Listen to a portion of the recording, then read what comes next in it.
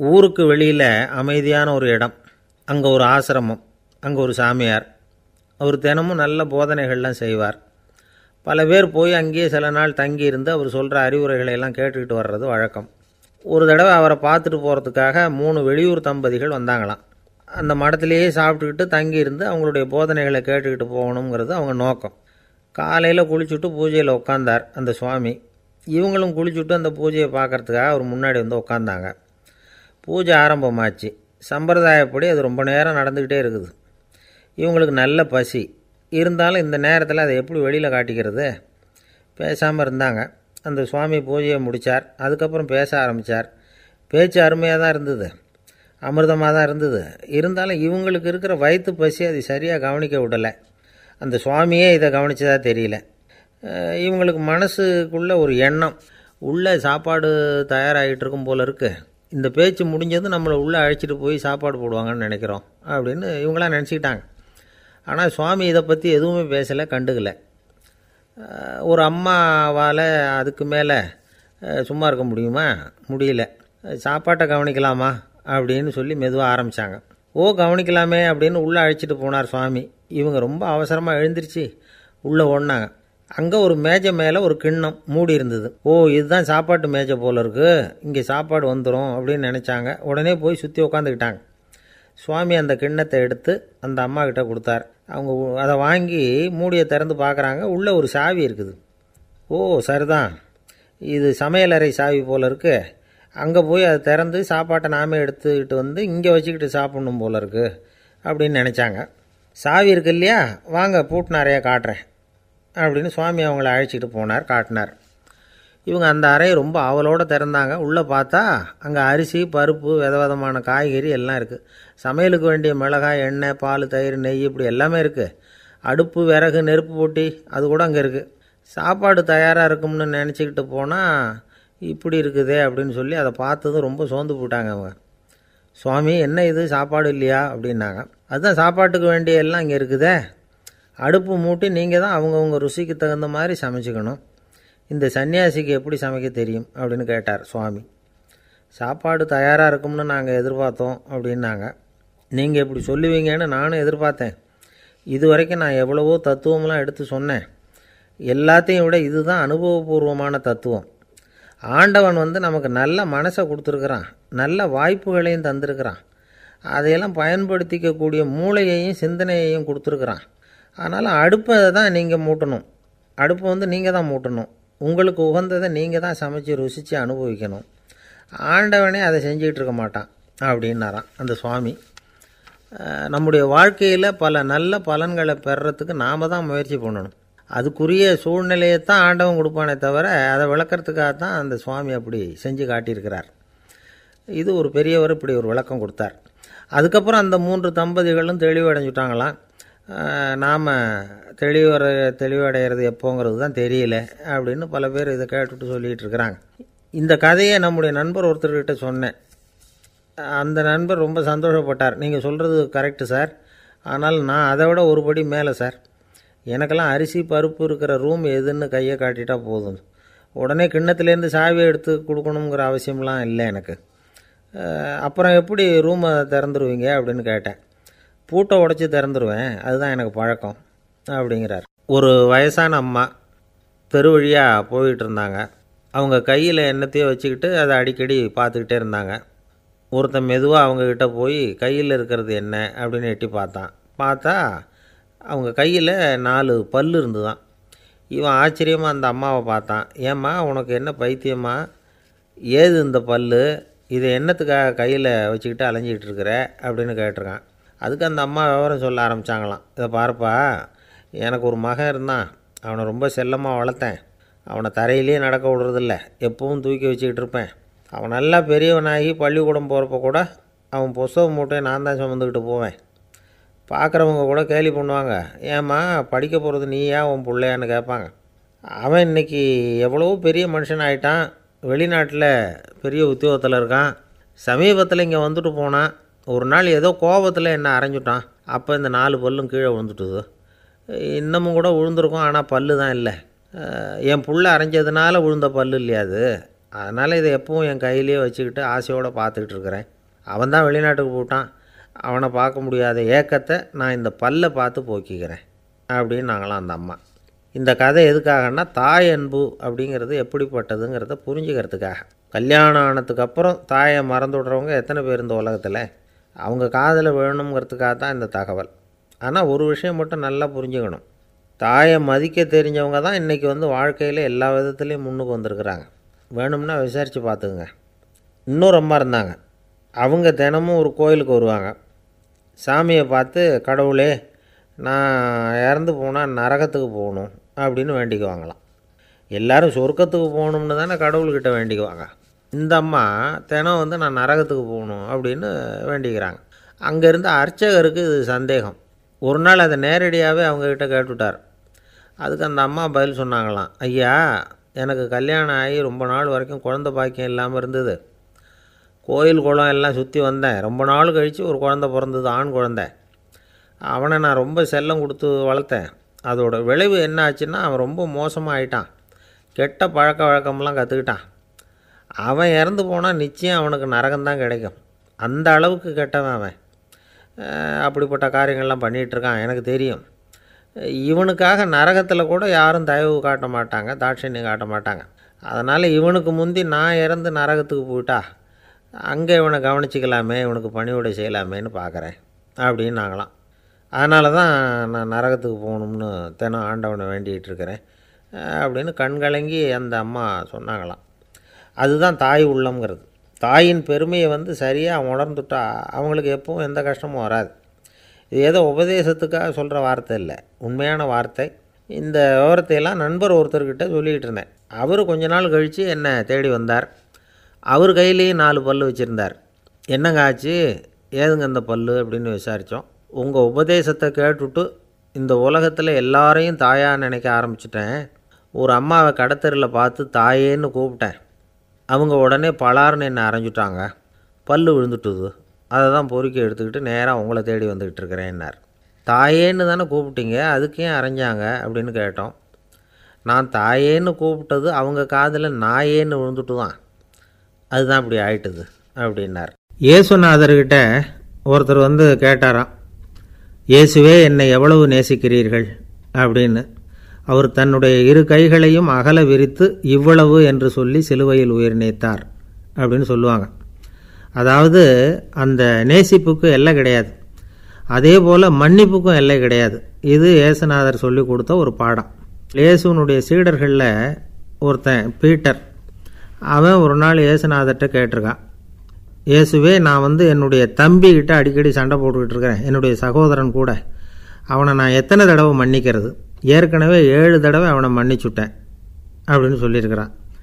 அப்போது இயேசு சொன்னாராம் மன்னிக்கிறதுக்கு எத்தனை தடவைங்கிற கணக்கெல்லாம் கிடையாது. எத்தனை தடவை உன்னுடைய சகோதரன் உன்னை கோபப்படுத்துகிறானோ அத்தனை தடவை நீ மன்னிக்கிறதுக்கும் தயாராக இருக்கணும். அதுதான் அப்படின்னு சொன்னாராம் அப்போ இவனுக்கு ஒன்றும் புரியல. இது என்ன அவன் தப்பு பண்ணிக்கிட்டே இருப்பான் நாம் மன்னிச்சுக்கிட்டே இருக்கிறதா அப்படிங்கிறது மாதிரி குழப்பமாக இருந்திருக்கிறான். அப்போது இயேசுநாதர் தன்னுடைய சீடன் பீட்டர்கிட்ட ஒரு கதை சொன்னாராம். அந்த கதை இன்றைக்கு நாம் வந்து எல்லாரும் சிந்தித்து பார்க்க வேண்டிய ஒரு கதை. அதாவது மன்னிப்பை விரும்புகிறவர்கள் மன்னிக்கவும் தயாராக இருக்க வேண்டும் அப்படிங்கிறது தான் அந்த கதையினுடைய தத்துவம். அந்த ஏசநாதர் சொன்ன கதை என்னென்னா ஒரு மன்னர் இருந்தார். அவர் ஒரு நாள் அரண்மனையில் உட்காந்து கணக்கு வழக்குகள்லாம் பார்த்துக்கிட்டு இருந்தார். நம்ம அரண்மனையிலேருந்து யார் யார் அரசாங்க கடன் வாங்கியிருக்கிறாங்க யார் யார் திருப்பி செலுத்தியிருக்கிறாங்க அப்படிங்கிற விவரத்தையெல்லாம் பார்த்துக்கிட்டு இருந்தார். அப்போ தான் புரிஞ்சுது அந்த அரண்மனையில் வேலை செய்கிற ஒருத்தனே அரசாங்க கடன் ஒரு வாங்கியிருக்கிறான். எவ்வளவு? பத்தாயிரம் பொற்காசுகள் வாங்கியிருக்கான் கடன். இந்த பத்தாயிரம் பொற்காசுகளை திருப்பி செலுத்தலை அரசாங்கத்துக்கு. இது மன்னர் கவனத்துக்கு வந்தது. உடனே நம்ம அரண்மனையில் இருக்கிறவனே அரசு கடன் வாங்கி திருப்பி செலுத்தாமல் இருக்கான். அவனை கூப்பிட்டு வாங்கன்னு சொல்லி கூப்பிட்டுட்டு வந்தாங்களாம். விசாரிச்சிருக்கிறாங்க. என்னப்பா நீ எவ்வளோ ஒன்று ஆமாங்க பத்தாயிரம் பொற்காசுகள் வாங்கியிருக்கிறேன். இன்னும் திருப்பி கட்டலைன்றிருக்கான் உடனே அவர் மன்னர் சொல்லியிருக்கிறார் நம்ம சட்டத்திட்டப்படி நீ உடனே பணத்தை திருப்பி கட்டிடு. அப்படி உன்னால் கட்ட முடியலன்னா உன்னுடைய வீடு வாசல் சொத்து சுகம் எல்லாத்தையும் விற்று அந்த பணத்தை அரசு கருவூலத்தில் சேர்த்துக்கிறதுக்கு நானே ஏற்பாடு பண்ணிடுறேன் அப்படின்னு அந்த மன்னர் சொன்னாராம். இவன் அப்படியே அதிர்ச்சி ஆகிட்டான் அப்படியே பொத்துன்னு காலில் விழுந்தானா? மன்னா என்னை மன்னிச்சுங்க. என்னால் முடியல. எனக்கு மன்னிப்பு கொடுங்க அப்படின்ருக்கான். உடனே அவர் எழுந்திருச்சு சரி நீ மன்னிப்பு கேட்டுவிட்ட அதனால் உன்னை மன்னிக்கிறேன் நீ பணம் கட்ட வேண்டாம். அப்படின்னு சொல்லி அந்த மன்னர் அவனை விட்டுட்டாராம். பணத்தையும் தள்ளுபடி போட்டார் நீ திருப்பி கட்ட வேண்டான்னு இவனுக்கு ரொம்ப மகிழ்ச்சி. அதனால் ரொம்ப உல்லாசமாக வந்துகிட்டு இருக்கிறான் தெருவில். வந்துக்கிட்டு இருக்கிறப்ப இவங்கிட்ட கடன் வாங்கின ஒருத்தன் எதுக்கு வந்துக்கிட்டு இருக்கான் அவன் இவங்கிட்ட ஒரு நூறு பொற்காசுகள் கடன் வாங்கியிருக்கான். அவன் வந்தான். இவன் போய் அவன் சாட்டையாக பிடிச்சிக்கிட்டான். நீ எப்படா என் கடனை திருப்பி கொடுக்க போகிறேன்னு அவன் இப்போ முடியல கொஞ்சம் பொறுத்துக்கா அப்புறம் தரேன்ருக்கான் அதெல்லாம் முடியாது நீ கொடுத்து தான் ஆகணும் அப்படின்னு இவன் புடிவமாக சொல்கிறான் இப்போ நிலைமையை பாருங்கள் இவன் ஏற்கனவே இவன் பத்தாயிரம் பொற்காசுகள் அரசாங்கத்தில் கடன் வாங்கினா அதுக்கு மன்னிச்சு விட்டுட்டார் இவனை. ஆனால் இவன் இன்னொருத்தனை மன்னிக்கிறதுக்கு தயாராக இல்லை. இவங்கிட்ட கடன் வாங்கின இன்னொருத்தன் பத்து பொற்காசுகள் அவனை மன்னிக்க தயாராக இல்லை. அவனை கொண்டு போய் நீதிமன்றத்தில் கொண்டு போய் நிறுத்தி தண்டனை வாங்கி கொடுத்துட்டான். நீதிபதி என்ன சொன்னார்? அந்த பா இவன் வாங்கின பொற்காசுகளை திருப்பி கட்டுற வரைக்கும் ஜெயிலில் இருக்கணுங்கிறது தீர்ப்பு. ஆனால் உடனே இது உடனே அரசர் காதில் வந்து விழுந்தது. சொல்லிட்டாங்க உங்ககிட்ட மன்னிப்பு வாங்கிட்டு போனானே ஒருத்தன். அவன் வந்து இன்னொருத்தனை மன்னிக்கிறதுக்கு தயாராக இல்லை. அவனை கொண்டு போய் ஜெயிலில் அடைச்சிட்டான் அப்படின்னு. உடனே மன்னர் பார்த்தார் இவனை மறுபடியும் கூப்பிட்டு வர சொன்னார். தபாரப்பா நான் வந்து உன்னை மன்னிச்சு விட்டேன். ஆனால் நீ இன்னொருத்தனை மன்னிக்கிறதுக்கு தயாராக இல்லை. அதனால் என்னுடைய தீர்ப்பையும் மாற்றுறேன் நீயும் அரசு கடன் தீர்ற வரைக்கும் ஜெயிலில் தான் இருக்கணும் அப்படின்னு சொல்லி ஜெயிலுக்கு அனுப்பிச்சிட்டாராம். இப்படி ஒரு கதையை இயேசுநாதர் தன்னுடைய சீடருக்கு சொன்னதாக ஒரு வரலாறு. அது என்ன அதுலேருந்து நாம் புரிந்து கொள்ள வேண்டியதுன்னா நாம் வந்து மன்னிக்கப்படணும்னு நாம் விரும்புகிறோம்னா நாம் இன்னொருத்தரை மன்னிக்கிறதுக்கு தயாராக இருக்கணும். அதனால் நாம் வந்து இன்னொருத்தரை யாரையும் மன்னிக்க மாட்டோம். ஆனால் என்ன இன்னொருத்தர் மன்னிக்கணும் அப்படிங்கிறது மாதிரி செய்யக்கூடாதுன்னு சொல்லுவாங்க. அது மாதிரி நாம் வந்து இப்போ இது தப்பாக புரிஞ்சுக்கிறவங்களும் இருக்கிறாங்க. பாவம் மன்னிப்புங்கிறதெல்லாம் எதுக்குன்னா அதாவது மறுபடியும் பாவம் செய்யாமல் இருக்கிறதுக்காக தான். அதான் மன்னிக்கிறாரே அப்படிங்கிறதுக்காக மறுபடியும் மறுபடியும் பாவம் பண்ணிகிட்டு இருக்கிறது இல்லை. அதான் ஒருத்தர் கேட்டாராம் பாவத்திலேருந்து மன்னிப்பு கிடைக்கணும்னா நீ என்ன செய்யணும் அப்படின்னு கேட்டிருக்கார். அதுக்கு அவன் சொல்லியிருக்கிறான் நான் முதல்ல பாவம் செய்யணும். அப்போ தானே மன்னிப்பு கிடைக்கும் அப்படின்னு நானாம் இப்படிப்பட்டவர்கள் தான் இன்றைக்கி உலகத்தில் அதிகமாக இருக்கிறாங்க. அதனால் இந்த மன்னிப்பின் மகத்துவங்கிறது இயேசுநாதர்கிட்டேருந்து தான் நாம் புரிஞ்சுக்கணும். அந்த இயேசு சொன்ன அந்த மன்னிக்கிற மனோபாவம் இருந்தால் இன்றைக்கி உலகம் பூராவும் அமைதி பூங்காவாக இருக்கும். அதில் ஒன்றும் ஆச்சரியமே இல்லை. அதில் ஒன்றும் சந்தேகமும் இல்லை. அதனால் மன்னிக்கிற மனோபாவத்தை நாம் எல்லாரும் நமக்குள்ளே வளர்த்து கொள்ள வேண்டும். அப்படிங்கிறது தான் நாம் இன்றைக்கு எல்லோரும் சிந்தித்து பார்க்க வேண்டிய ஒரு செய்தி. ஒருத்தர் ரொம்பவும் மகிழ்ச்சியாக வந்துக்கிட்டு இருந்தார். என்ன விஷயம்னு விசாரித்தேன் நான் தோற்று போயிட்டேன். அதுதான் மனசுக்கு மகிழ்ச்சியாக இருக்குது அப்படின்னார். எனக்கு இது ரொம்ப ஆச்சரியமாக போச்சு. இந்த உலகத்தில் தோற்று போகிறவங்க யாரும் மகிழ்ச்சியாக இருக்கிறது இல்லை அப்படி இருக்கிறப்ப இவர் இப்படி சொல்கிறாரே எங்கே தோற்று போனீங்கன்னு கேட்டேன். அதுக்கப்புறம் தான் அவர் விவரமாக சொன்னார். என்னோடய அஞ்சு வயசு குழந்தையோட நான் விளையாடிக்கிட்டு இருந்தேன். அந்த விளையாட்டில் என் குழந்தை ஜெயிச்சு விட்டுது நான் தோற்று போயிட்டேன் அப்படின்னார். ரொம்ப உற்சாகமாக நான் யோசித்து பார்த்தேன். அதாவது நாம் சின்ன குழந்தையாக இருக்கிறப்போ எந்த விளையாட்டில் கலந்துக்கிட்டாலும் அதில் நாம் தான் ஜெயிக்கணும்னு ஒரு வெறி நமக்குள்ளே இருக்கும். நம்மளை எதிர்த்து விளையாடுறவர் நல்லவரா கெட்டவரா பெரியவரா சின்னவரா அப்படிங்கிறதெல்லாம் முக்கியம் கிடையாது. அவர் தோற்று போகணும் நாம் ஜெயிக்கணும் அதுதான் முக்கியம். எதிரியை சந்தோஷப்படுத்த விளையாடுகிற கலை வந்து அப்போ நமக்கு தெரியறதில்ல. வாழ்க்கையில் ஒரு பக்குவம் வந்ததுக்கு அப்புறம் வெற்றி பெறணுங்கிற மன அழுத்தம் போயிடுது. போட்டியில் ஜெயிக்கணுங்கிறத விட குழந்தையை சந்தோஷப்படுத்தணுங்கிறது முக்கியமாக போச்சு. ஜெயிக்கணுங்கிற வெறி ஓடி போட்டுது. ஒரு குழந்தையாக இருந்தப்போ நம்ம வளர்ச்சிக்கு உதவிய வெற்றி வெறி பெரியவனானதுக்கு பிறகு நமக்கு எதிரியாக மாறுது. அதை சரியான சமயத்தில் நாம் புரிஞ்சுக்கிட்டோம்னா போதும் நாம் பொழைச்சிக்கலாம். ஒவ்வொரு மனுஷனுமே வாழ்க்கையோட அடுத்த கட்ட வளர்ச்சியில் அடி எடுத்து வைக்கிற நேரத்தில் தன்கிட்ட இருந்து ஏதோ ஒரு குணத்தை அல்லது தன்குடன் இருந்த ஏதோ ஒரு உறவை வந்து நாம் வந்து இழக்கத்தான் வேண்டியிருக்குது. ஒரு கட்டம் வரைக்கும் உதவியாக இருந்த குணம் வந்து அடுத்த கட்டத்துக்கு தடையாக கூட மாறிடலாம். இந்த பரிமாண மாற்றத்துக்கு உள்ளாகிற ஒவ்வொருத்தரும் பிரத்யட்சமாக இதை வந்து உணர்கிறாங்க ஆனால் பல பேர் எப்படின்னா பழசை திறந்துவிட்டு புதிய கொள்கைகளை உருவாக்கிக்கிறதுக்கு இஷ்டம் இல்லாமல் இருந்துடுறாங்க. அல்லது அப்படி செய்ய முடியாமல் தவிக்கிறாங்க. இதையெல்லாம் மீறி அந்த பழசை திறந்துட்டா அதை இழந்ததால் உண்டாகிற மன அழுத்தம் சில காலத்துக்கு வருத்திக்கிட்டு தான் இருக்கும். வேறு வழி இல்லை. ஆரோக்கியமான ஒரு முன்னேற்றத்துக்காக அந்த மன அழுத்தத்தை தாங்கிக்கத்தான் வேணும். அப்படிங்கிறாரு அந்த உலக புகழ்பெற்ற மேதை ஒருத்தர். இந்த ஸ்காட் பெக் அப்படிங்கிறவர். பிறந்த நாள் முதல் இதுதான் சரி அப்படின்னு கற்பிக்கப்பட்டு வந்த ஒவ்வொரு தத்துவத்தையும் தங்களுடைய வளர்ச்சிக்கு தகுந்த மாதிரி மாற்றி அர்த்தப்படுத்தி கொள்ள முடியாமல் வாழ்க்கை சூழலில் அப்படியே அரைப்பட்டு தூளாகிறவர்கள் தான் ரொம்ப தவிக்கிறாங்களாம். இதுதான் அவருடைய கருத்து. பெரும்பாலும் மனிதர்களுடைய நடுத்தர வயசில் அதாவது முப்பதை தாண்டுகிற சமயத்தில் தான் இந்த தவிப்பு உண்டாகுதான் இதை தான் மேற்கத்திய நாடுகளில் அடிக்கடி மிட் லைஃப் கிரைசிஸ் அப்படின்னு சொல்கிறாங்க அப்பப்போ பழசையெல்லாம் தொலைச்சி விட்டு புதுசு புதுசாக பிறக்கிறதுக்கு கற்றுக்கணும் ஒவ்வொரு நிமிஷத்தையும் அந்த நிமிஷத்துக்கு ஏற்ற சித்தாந்தம் கொண்டவர்களாக சந்திப்போம் அப்படிங்கிறார் அந்த உளவியல் நிபுணர். இப்படி பழகிக்கிட்டால் வாழ்க்கை வந்து இன்பமயம் இல்லைன்னா தவிப்பு மயம்தான். பழசை தொலைக்க முடியாதவர்களில் எத்தனையோ பேர் உண்டு எத்தனையோ ரகம் உண்டு. அதில் வேடிக்கையான நண்பர்களும் உண்டு. ஒருத்தர் நண்பர் வீட்டுக்கு போனார். அவர் வந்து ஏதோ இனிப்பு பலகாரம் கொடுத்து சாப்பிட சொல்லியிருக்கிறாங்க அவங்க வீட்டில் இவர் சாப்பிட்டு பார்த்துட்டு சொன்னாராம் சார் ஆறு மாதத்துக்கு முன்னாடி ஒரு தடவை இங்கே வந்தேன். அப்போது ஒரு இனிப்பு பலகாரம் கொடுத்தீங்க. அது இதை விட நல்லா இருந்தது சார் அப்படின்னாராம். அப்போ செஞ்ச அதே இனிப்பு பலகாரம் தான் சார் இதுவும் அப்படின்னாராம் அவர். ஒரு நாள் ஒரு தகப்பனார் தன்னுடைய பிள்ளையை அழைச்சிட்டு வந்தார். சார் இவன் சரியாக படிக்க மாட்டேங்கிறான். பெரியவங்களை மதிக்க மாட்டேங்கிறான். நீங்கள் கொஞ்ச நாள் இவனுக்கு குருவாக இருந்து நல்ல விஷயங்களை சொல்லி கொடுத்தா தேவையில்லைன்னார்.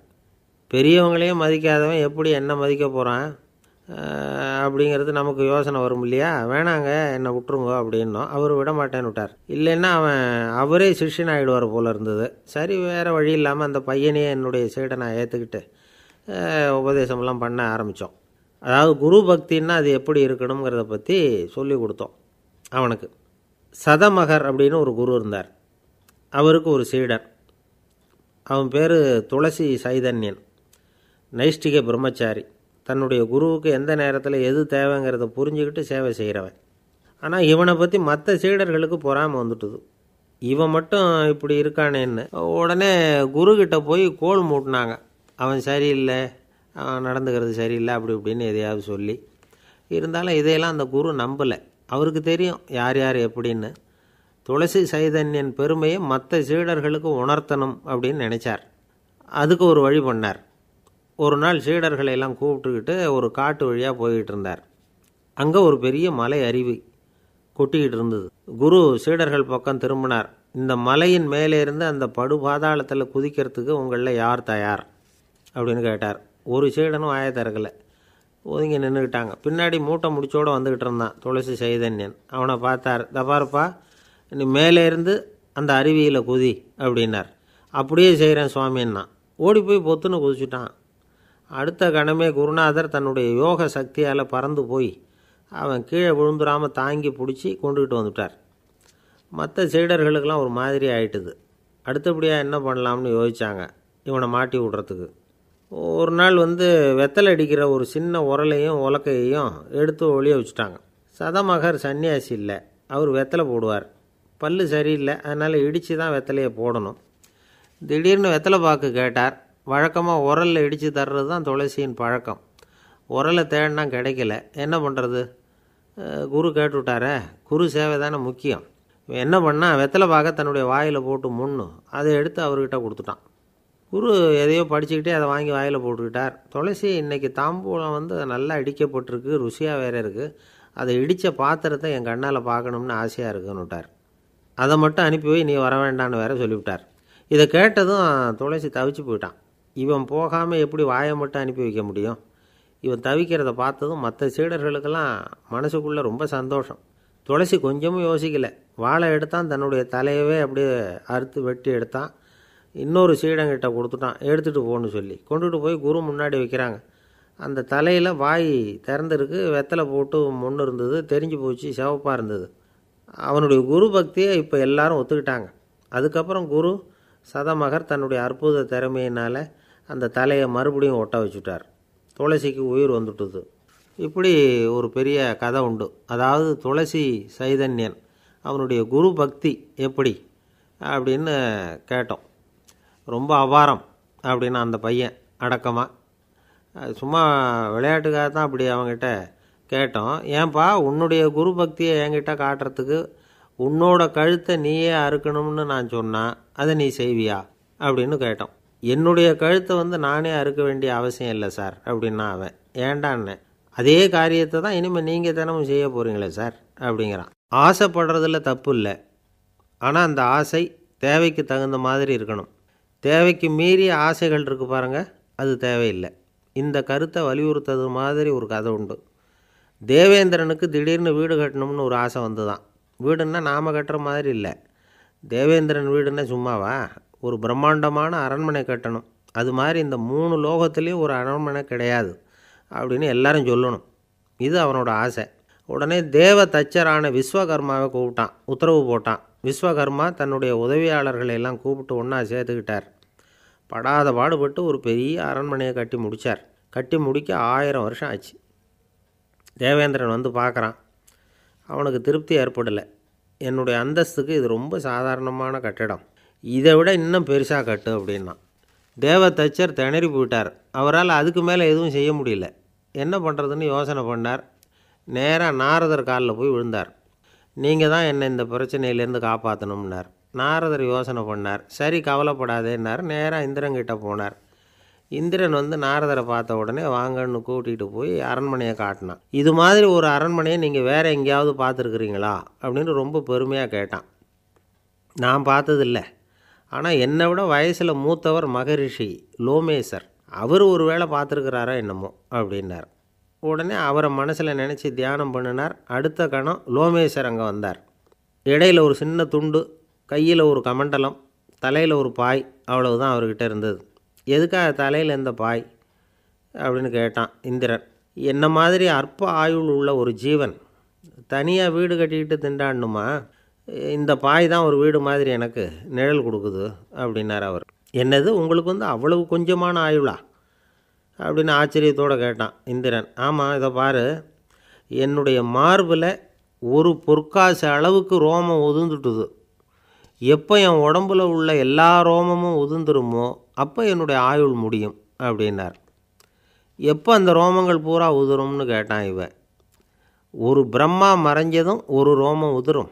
என் உடம்புல உள்ள ரோமங்களின் எண்ணிக்கை எவ்வளவோ அவ்வளவு பிரம்மாக்கள் தோன்றி அவங்க ஆயுள் முடியும் பொழுது என் உடம்புல உள்ள ரோமங்கள் பூரா உதிரும் அப்படின்னார். அப்படின்னா ஒரு பிரம்மாவோட ஆயுள் எவ்வளவு காலம்னு கேட்டான். ஒரு பிரம்மாவுக்கு நூறு தேவ வருஷம். ஒவ்வொரு தேவ வருஷத்துக்கும் முந்நூற்றறுபத்தஞ்சி தேவ நாள். ஒவ்வொரு தேவ நாள்லேயும் ஒன்றை மாதிரி பதினாலு இந்திரர்கள் தோன்றி மறைகிறாங்க அப்படின்னு மகரிஷி லோமேஸ்வர் சொல்கிறார் இதை கேட்டதும் இந்திரன் ஆடி போயிட்டான் அவ்வளவு ஆயுள் உள்ள இவரே அற்ப ஆயுள்னு சொல்கிறார் நான் என்னுடைய ஆயுளை பெருசாக நினச்சிக்கிட்டு பிரம்மாண்டமான அரண்மனை கட்டணும்னு ஆசைப்படுறேனே அப்படின்னு நினச்சான். எனக்கு வீடு கட்டின வரைக்கும் போதும்னு விட்டான் அதனால் நாமெல்லாம் நம்முடைய தேவைக்கு தகுந்த மாதிரி ஆசைப்படுறது தான் நியாயம். ஆனால் அப்படியே நடந்துக்கிறோம். மனுஷன் வந்து கடவுளையே ஏமாற்றி காசு வாங்கிறதுக்குள்ள ஆசைப்படுறான். ஒருத்தன் கடவுளை நினச்சி தவம் இருந்தான். கடவுள் நேரில் வந்தார். தேவலோகத்தில் ரூ ரூபாய்க்கெலாம் என்ன மதிப்புன்னு கேட்டான். அங்கெல்லாம் ரூபாய்ங்கிறது உங்கள் பணத்தில் ஒரு கோடி ரூபாய்க்கு சமம். அதாவது தேவலோகத்தில் ஒரு ரூபான்னா இங்கே ஒரு கோடி ரூபா. அது மாதிரி எங்களுக்கு ஒரு நாளுங்கிறது உங்கள் கணக்கில் ஒரு கோடி வருஷத்துக்கு சமம் அப்படின்னார் கடவுள். அப்படின்னா எனக்கு நீங்கள் அதிகமாக எதுவும் தர வேணாம். உங்கள் கணக்குப்படி ஒரே ஒரு ரூபா கொடுங்க அது போதும்னா இவன் ரொம்ப சாமர்த்தியமாக கடவுள் யோசனை பண்ணார். அது ஒன்றும் கஷ்டம் இல்லை ஒரு ரூபா தானே கேட்குற கொடுத்துட்றேன். ஆனால் இப்போ வரும்பொழுது நான் எடுத்துக்கிட்டு வரல. எங்கள் கணக்குப்படியே ஒரு நாள் பொறுத்துக்கா பணத்தோடு வந்துடுறேன் அப்படின்னு சொல்லிவிட்டு பறந்து போயிட்டார். இந்த உலகத்தில் எல்லாருக்கும் மகிழ்ச்சி தரக்கூடிய ஒரு பொருள் எது? இது ஒரு முக்கியமான கேள்வி. இந்த கேள்விக்கு பொருத்தமான ஒரு பதிலை உங்களால் சொல்ல முடியுமா? அதாவது கொஞ்சம் யோசித்து பார்த்தா பணம்னு சொல்லலாமா? இப்போ கையில் காசு இல்லாதவங்ககிட்ட ஒரு பத்து ரூபாயை கொடுத்தா அது அவனுக்கு சந்தோஷத்தை கொடுக்கும். ஏற்கனவே வருமான வரி பிரச்சனையில் சிக்கி இருக்கிறவர்கிட்ட இன்னும் கொஞ்சம் பணம் இந்தாங்கன்னு சொல்லி கொடுத்தோம்னா அது வந்து அவருக்கு சங்கடத்தை தான் கொடுக்கும். அதனால் அந்த கேள்விக்கு பணங்கிறது பொருத்தமான பதிலாக இருக்க முடியாது. கேள்வி என்னென்னா இந்த உலகத்தில் எல்லாருக்கும் மகிழ்ச்சி தரக்கூடிய ஒரு பொருள் எது? சரி இனிப்புன்னு சொல்லலாமா? ஏன்னா எல்லாருக்கும் இனிக்க தானே செய்யும். அதுலேயும் ஒரு சிக்கல் இருக்குது சக்கரை வியாதிக்காரங்களுக்கு அது என்ன சந்தோஷத்தையாக கொடுக்கும்? ஆக எல்லாருக்கும் வேறுபாடு எதுவும் இல்லாமல் மகிழ்ச்சியை கொடுக்கக்கூடியது வேறு ஏதோ ஒன்று இருக்குது அது என்னன்னு கண்டுபிடிக்கணும். அதுதான் இன்றைக்கி தகவல்.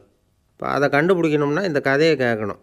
அது என்ன கதைன்னா ஒரு ஊரில் ஒரு ராஜா இருந்தார். அவருக்கும் இதே சந்தேகம் வந்துட்டுது. அதாவது எல்லாருக்கும் இன்பம் தரக்கூடிய பொருள் எது அப்படின்னு. இதுக்கு பதில் தெரிஞ்சுக்கிறதுக்கு ஆசைப்பட்டார். சரி அதுக்கு என்ன செய்யலாம்னு யோசனை பண்ணார். நாட்டு மக்களுக்கு பகிரங்கமாக ஒரு அறிவிப்பு கொடுத்தார். நம்ம நாட்டு மக்கள் இன்பம் தரக்கூடிய பொருள் எதுன்னு நினைக்கிறாங்களோ அதை கொண்டுக்கிட்டு வந்து அரண்மனையில் உள்ள கண்காட்சி மண்டபத்தில் வைக்கலாம். அப்படி அவங்க வைக்கிற பொருள்களில் எது எல்லாருக்கும் இன்பம் தரக்கூடியதாக இருக்குமோ அதை வச்சவருக்கு ஆயிரம் பொற்காசுகள் பரிசு அப்படின்னு அறிவிப்பு கொடுத்துட்டார். ஜனங்கள் இந்த அறிவிப்பை கேட்டாங்க. அதுக்கப்புறம் சும்மா இருப்பாங்களா? ஆயிரம் பொற்காசுன்னா சும்மாவா? அவங்கவுங்க கையில் என்னென்ன கிடைச்சதோ அதையெல்லாம் கொண்டாந்து அரண்மனை காட்சி மண்டபத்தில் வச்சுட்டாங்க. அதுக்கப்புறமா ராஜா அங்கே வந்தார். ஒவ்வொன்றா பார்த்துக்கிட்டே வந்தார். முதல்ல ஒரு குயில் இருந்தது. இனிமையாக பாடக்கூடிய குயில். இந்த குயிலோட இன்னிசை எல்லாருக்கும் இன்பம் தரக்கூடியது தான். இருந்தாலும் காது கேட்காதவங்களுக்கு இந்த இசை எப்படி இன்பம் தர முடியும்? அதனால் இது சரியில்லைன்னு விட்டார். அடுத்தபடியாக போனார். அங்கே என்ன வச்சுருக்குறாங்கன்னு பார்த்தார். பார்த்தா ஒரு அழகான மயில். அங்கே தோகை விரித்து ஆடிக்கிட்டு இருக்குது. இந்த மயிலோட ஆட்டம் வந்து மனசுக்கு இன்பம் தரக்கூடியது தான். இருந்தாலும் பார்வை இல்லாதவங்க இந்த ஆட்டத்தை பார்த்து ரசிக்க முடியுமா? முடியாது. அதனால் இதுவும் சரியில்லை அப்படின்னு சொல்லிவிட்டார். அதுக்கு அடுத்தபடியாக போனார். பல வகையான இனிப்பு பண்டங்களை வச்சுருந்தாங்க. பார்த்தார் வயசானவங்களுக்கும் நோயாளிகளுக்கும் இது வந்து இன்பம் தராது துன்பம் தான் கொடுக்கும் அப்படின்னார். இப்படி ஒவ்வொன்றா பார்த்துக்கிட்டே போகிறார் அழகான மலர்கள் கனிகள் ஓவியங்கள் எதுவுமே பொருத்தமாக தெரியல. சகல பேருக்கும் இன்பம் தரக்கூடிய வகையில் எதுவும் இல்லை. கடைசியாக வந்தார். அங்கே ஒரு களிமண் பொம்மை இருந்தது. அது என்ன பொம்மை தெரியுமா? பசியால் வாடி இருக்கிற ஒருத்தருக்கு ஒரு அம்மா இனிமையாக பேசிக்கிட்டு சோறு போடுறது மாதிரி அந்த பொம்மையை செஞ்சுருந்தாங்க. அதுக்கு கீழே அன்பு அப்படின்னு எழுதியிருந்ததுதான். ராஜா பளிச்சுன்னு ஒரு முடிவுக்கு வந்தார். அந்த பொம்மையை செஞ்ச சிற்பியை வரவழைச்சார். பரிசு கொடுத்தார். அன்பு ஒன்று தான் எல்லாருக்கும் இன்பம் அளிக்கக்கூடிய பொருள். காது கேட்காதவங்களும் அதை கேட்க முடியும்.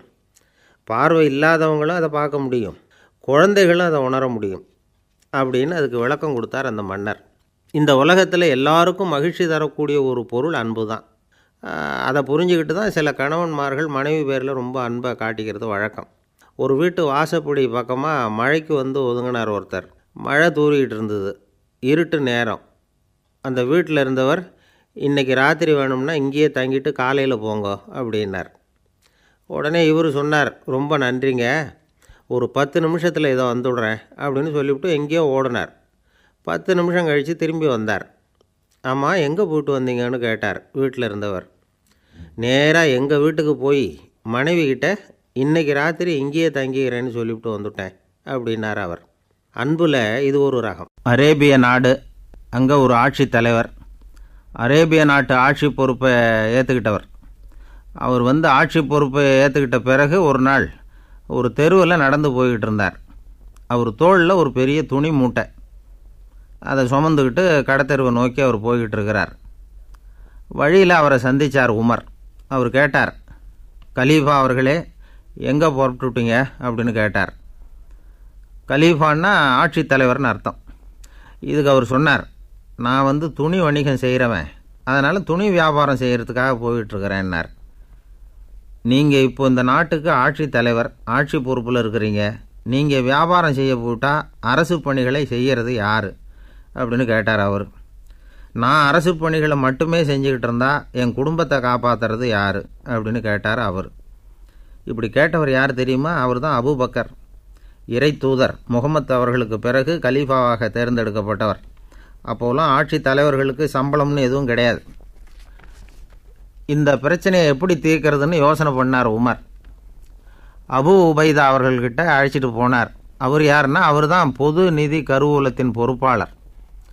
அவர்கிட்ட பிரச்சனையை சொன்னார். இது மாதிரி ஆட்சி தலைவருக்கு பொது நிதியிலிருந்து ஊதியம் அளிக்க முடியுமான்னு கேட்டார். பொது நிதி விதிகளின்படி அதுக்கு சாத்தியம் இல்லைன்னு சொல்லிவிட்டார் அவர். சரி வேறு ஏதாவது வழி இருக்குதான்னு கேட்டார் உமர். அபு உபைதா கொஞ்சம் யோசனை பண்ணி பார்த்தார். அப்புறமா சொன்னார் மக்காவிலிருந்து மதீனாவுக்கு குடிபெயர்ந்து வந்த அகதிகளுக்கு நிதி உதவி அளிக்கிறதுக்கு விதிகளில் இடம் இருக்கு. அப்படி பார்த்தா அபுபக்கரும் அகதி தானே அதனால் எல்லா அகதிகளுக்கும் கொடுக்கறது மாதிரியே அவருக்கும் ஒரு தொகை அளிக்கலாம்னார். கலீஃபா அபுபக்கருக்கு இந்த அகதி உதவி தொகையைத்தான் கொடுத்துட்டு வந்தாங்களாம். குடும்ப செலவுக்கு அது போதுமானதாக இல்லை. இருந்தாலும் கலீஃபாங்கிறதுக்காக மற்ற அகதிகளை விட அதிகமாக தொகையை பெற அவர் விரும்பலை. மார்பு பக்கம் கிழிஞ்சிருந்த ஒரு மேலாடையை தான் அவர் அணிஞ்சிருந்தார். அவருடைய துணைவியார் அஸ்மா. அவங்க ஒரு நாள் தேன் அருந்த ஆசையாக இருக்குன்னாங்களாம் நமக்கு கிடைக்கிற ஊதியம் குடும்ப செலவுக்கே போதுமானதா இல்லையே இந்த நிலையில் தேன் வாங்குறதுக்கு காசுக்கு நான் எங்கே போவேன்ருக்கார் அவர். கொஞ்ச நாள் கழித்து அவங்க ஒரு தொகையை அவர்கிட்ட கொடுத்து தேன் வாங்கிட்டு வர சொன்னாங்களாம். இவருக்கு ஆச்சரியம். ஏது இந்த பணம்னு கேட்டிருக்காரு. நீங்கள் தினமும் குடும்ப செலவுக்காக கொடுத்துக்கிட்டு வந்த பணத்தில் கொஞ்சம் கொஞ்சமாக மிச்சப்படுத்தி வச்சேன்னாங்களாம். அபூபக்கர் அந்த பணத்தை எடுத்துக்கிட்டு நேராக பொது நிதி கருவூல பொறுப்பாளர்கிட்ட போனார். இந்த பணத்தை பொது நிதியில் சேர்த்துருங்க. இது அதிகப்படியாக எனக்கு தரப்பட்டு வந்த ஊதியம். அடுத்த மாதத்துலேருந்து இந்த தொகையை குறைச்சிங்கன்னு வேற சொல்லிவிட்டாராம். பசியை தணிக்க தேவையான அளவு உணவு ஒரு ஜோடி உடை இதை தவிர கூடுதலாக மக்கள் பொது நிதியிலிருந்து வாங்கிக்கிறதுக்கு என் குடும்பத்தாருக்கு உரிமை இல்லை அப்படின்னு சொல்லி கண்டிப்பாக சொல்லிவிட்டாராம். அவர் வாங்கிட்டு வந்த அந்த குறைந்த ஊதியம் கூட அவர் மனசை உறுத்திக்கிட்டே இருந்தது. கடைசி நேரம் அவர் தம்முடைய மகள் ஆயிஷா அவர்களை அழைச்சார். மகளே இதுவரைக்கும் பொது நிதியிலிருந்து நான் வாங்கிட்டு வந்த தொகை என்னுடைய இதயத்தில் பாரமாக அழுத்திக்கிட்டு இருக்கு. என் தோட்டத்தை விற்று அதில் வர்ற பணத்திலேருந்து நான் இது வரைக்கும் வாங்கிட்டு வந்த ஊதிய தொகையை கணக்கு போட்டு பொது நிதியில் சேர்த்து விடு அப்படின்னாராம். பதவி ஏற்கிறதுக்கு முன்னாடி தன்கிட்ட இருந்ததை விட இப்போ கூடுதலாக என்ன சொத்து இருக்குன்னு பார்த்துருக்கார். ஒரு ஒட்டகம் ஒரு கோப்பை ஒரு பணியாள். இதையும் வந்து அடுத்தபடியாக கலீபாவா வர்றவர்கிட்ட ஒப்படைச்சிருங்க அப்படின்னு விட்டாராம். அதே மாதிரி அடுத்து வந்த உமர்கிட்ட ஒப்படைச்சாங்க. அப்போ உமர் சொன்னாராம் அபு பக்கரே இந்த முன்மாதிரியால் உங்களுக்கு பிறகு இந்த ஆட்சி பொறுப்பை ஏற்கிறவர்களை பெரும் நெருக்கடிக்கு ஆளாகி விட்டீங்க அப்படின்னு சொல்லி ரொம்ப கண் கலங்கினாராம். கடைசியாக அபு பக்கர் தன்னுடைய குடும்பத்தாருக்கு விட்டு சென்ற சொத்து ஒரு படுக்கை விரிப்பு ஒரு போர்வை அவ்வளவுதான். இது வந்து சிந்திக்க வேண்டிய ஒரு செய்தி. ஒரு ஊரில் ஒரு மன்னர் இருந்தாராம். அமைச்சர் வந்து அவர்கிட்ட சொன்னாராம் மன்னா நம்ம ராஜ்யத்தில் இனிமே லஞ்ச ஊழலே இருக்காதுன்னாராம். ஆஹா அப்படின்னா ஊழல் பேர் வழிகளையெல்லாம் நாடு கடத்தியாச்சா? அப்படின்னு கேட்டிருக்காரு மன்னர். இதுக்கு அவர் அப்படி இல்லைங்க. இனிமேல் கொடுக்கறதுக்கு ஜனங்கள்கிட்ட பணமே இல்லை அப்படின்னாராம்.